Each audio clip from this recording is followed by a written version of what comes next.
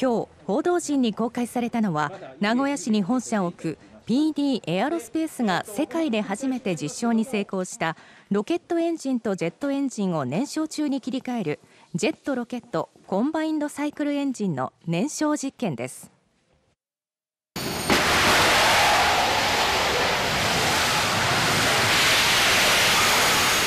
従来は水力を得るのにロケットエンジンを使用していますが宇宙には酸素がないため燃料点火のために酸化剤を搭載しています。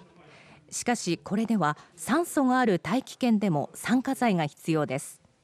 今日公開されたエンジンは大気圏中では酸素で燃焼するジェットエンジンに切り替えることができ燃料を含めた重量が軽くできます。宇宙に到達するという点ではこれが2機あれば無人ならばできます。BD エアロスペースは開発を進め宇宙旅行などのプロジェクト実現につなげたい考えです。